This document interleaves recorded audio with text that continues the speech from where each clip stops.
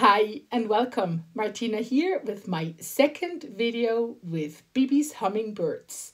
The Hummingbirds are a Spellbinders release that came out earlier this month and I already have one video on my channel where I give you a walk through all the projects I've been creating with this amazing release.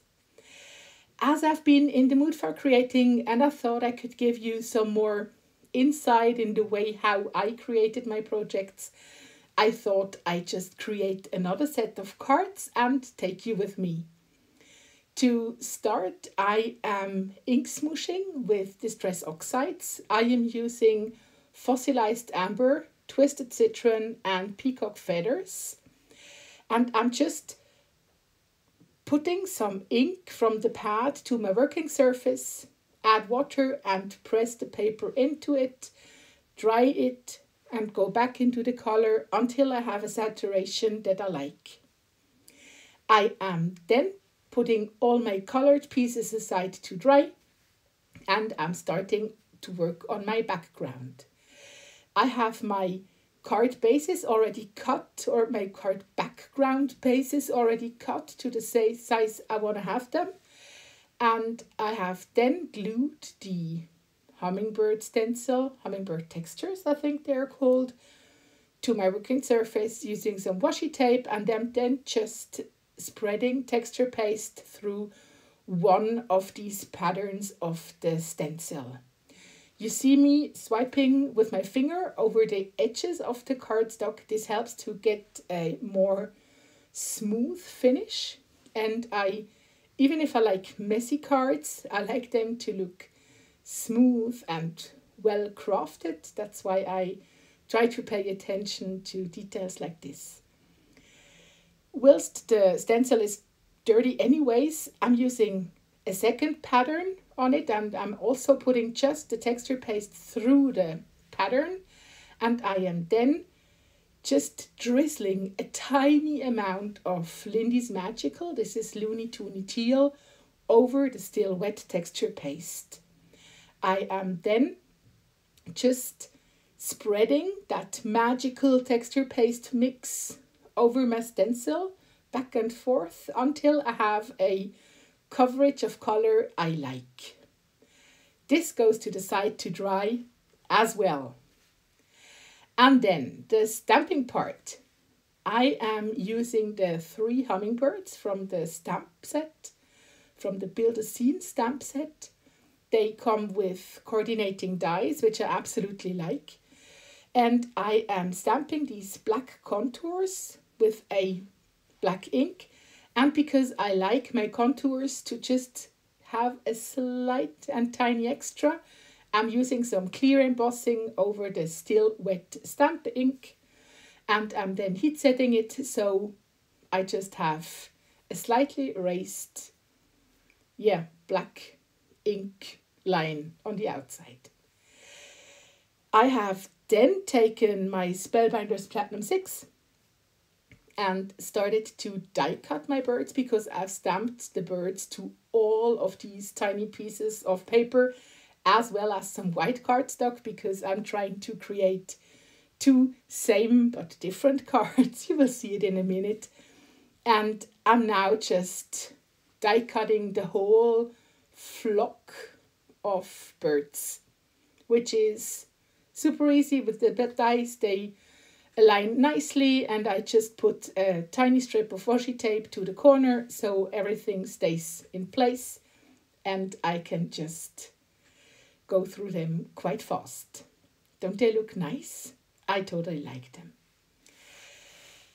And that's, yeah, I think the preparation work is already done here.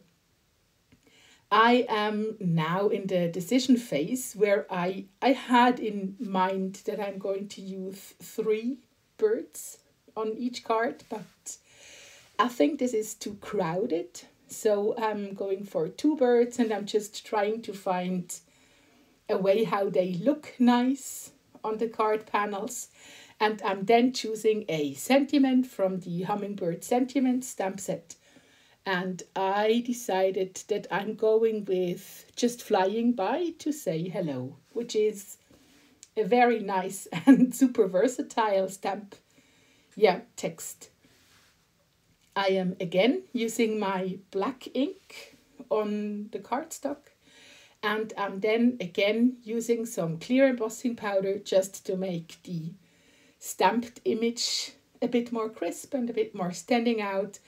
It's an effect I really, I think I, in 99% of the cases, I am using that heat embossing over stamping because I just feel it gives you a very nice finish of the stamped image.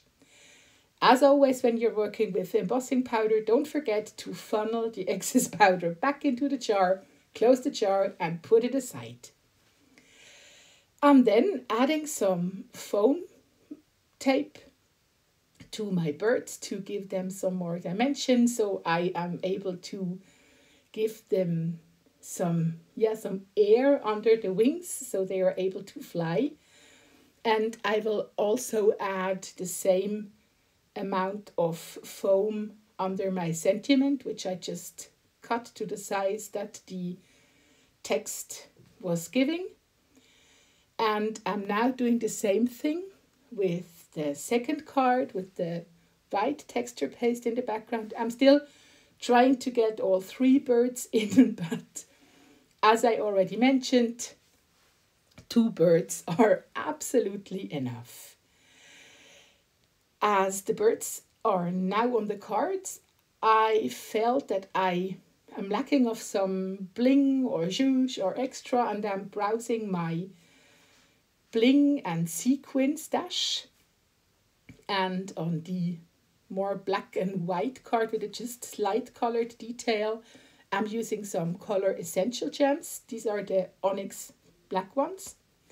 And I felt the card doesn't need much, but some more black could be nice. And for the other card, I'm using the teal opalescent sequins from Spellbinders. And as always, I'm just tossing a fair amount of sequins to the card and then just using my Bearly Arts glue and my pickup wand and then just randomly place the sequins on the card. I feel that this allows me to create the most organic look with my sequins because I personally prefer it that way.